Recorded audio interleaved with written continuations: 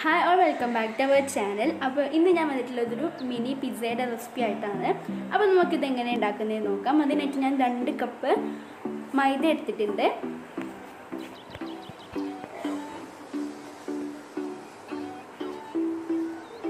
അപ്പോൾ ഞാൻ കുറച്ചൊരു ചെറിയ പിസ്സയാണ് ഉണ്ടാക്കുന്നത്. അപ്പോൾ അതിനനുസരിച്ച് നിങ്ങളുടെ അളവിന് മൈദ എടുക്കുക.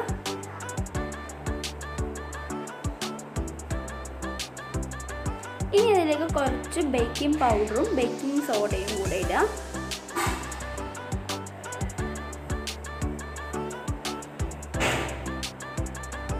രണ്ട് നന്നായിട്ടൊന്ന് മിക്സ് ചെയ്ത് കൊടുക്കാം.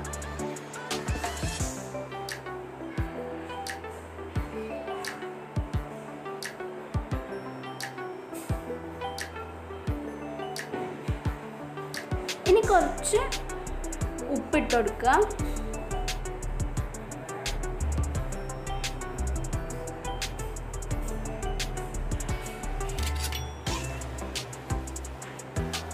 ഇനി കുറച്ച് നമ്മൾ സൺഫ്ലവർ ആണ് യൂസ് ചെയ്തിട്ടുള്ളത്.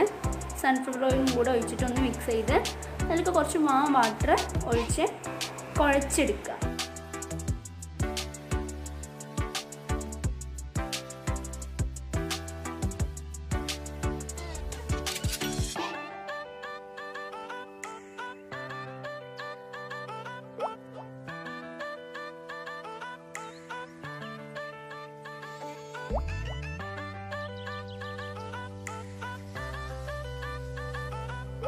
ഇത് കുറച്ച് നേരം റെസ്റ്റ് ചെയ്യാനായിട്ട് വെക്കാം.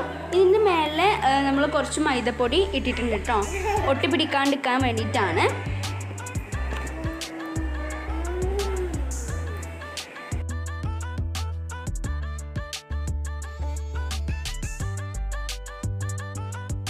ഇനി ഇതൊന്ന് ഡബിളായി വരുമ്പോഴത്തേക്ക് നമുക്ക് ഇതിലേക്ക് വേണ്ട പിസ്സ സോസ് റെഡിയാക്കാം ആ പിജ്ജ സോസിനായിട്ട് ഞാൻ ഒരു മൂന്ന് തക്കാളി ഒരു ഉള്ളിയും കൂടെ കുറച്ച് വെള്ളത്തിൽ പിഴുങ്ങിയെടുക്കാൻ വേണ്ടിയിട്ട് വെച്ചിട്ടുണ്ട്.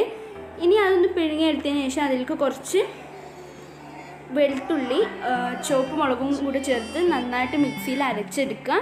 ഇനി അത് ഒരു ഫ്രൈ പാനിലേക്ക് നമുക്ക് ഒഴിച്ചു കൊടുക്കാം.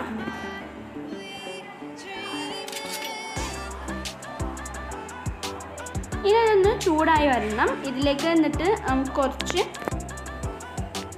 ടൊമാറ്റോ സോസും കൂടെ ഒഴിച്ച് നന്നായിട്ട് മിക്സ് ചെയ്ത് കൊടുക്കാം.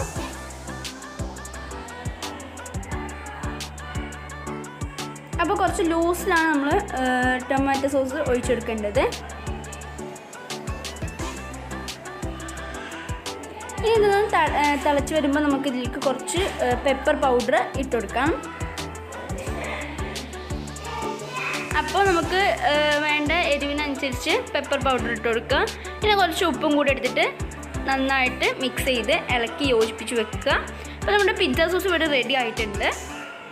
ഇതിൽ വെള്ളം ഒന്ന് വറ്റി വരണം കേട്ടോ. നമ്മൾ കുറച്ച് വെള്ളം ഇതിന്റെ അകത്ത് ഉണ്ടാവും. അതൊന്ന് വറ്റി വന്നിട്ട് നമുക്ക് ഫ്ലെയിം ഓഫ് ചെയ്യാം. അപ്പോൾ നമ്മുടെ പിസ്സ സോസ് ഇവിടെ റെഡി ആയിട്ടുണ്ട്.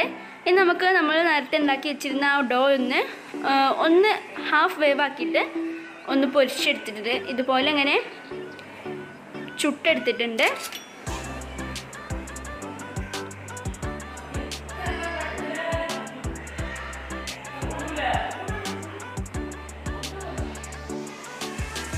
ഇനി ഇതിന്റെ മുകളിലായിട്ട് നമുക്ക് പിസ്സ സോസ് ഒന്ന് അപ്ലൈ ചെയ്ത് കൊടുക്കാം. നമ്മുടെ പിസ്സ സോസ് നല്ല ടേസ്റ്റ് ഉണ്ടായിരുന്നു.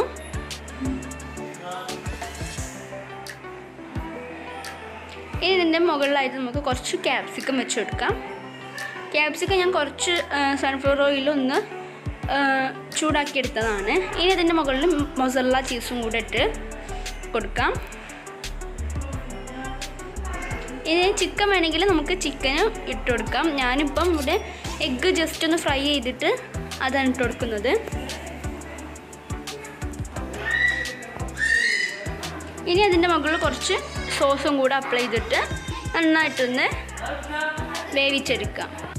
നമ്മൾ ഫ്ലെയിം ഓൺ ചെയ്യുമ്പം നമ്മൾ ശ്രദ്ധിക്കേണ്ടത് ചെറിയ ഫ്ലെയിമിൽ വെച്ചിട്ടാണ് നമ്മൾ ഇത് വേവിച്ചെടുക്കേണ്ടത്. ഇപ്പം നമ്മുടെ പിജ്ജ ഇവിടെ റെഡി ആയിട്ടുണ്ട്. നല്ല ടേസ്റ്റി ആയിട്ടുള്ളൊരു സംഭവമാണ് കേട്ടോ അപ്പോൾ എല്ലാവരും ഒന്ന് ട്രൈ ചെയ്ത് നോക്കുക. അപ്പോൾ ഇനി അടുത്തൊരു ഇടിയായിട്ട് വരാം. Thanks for watching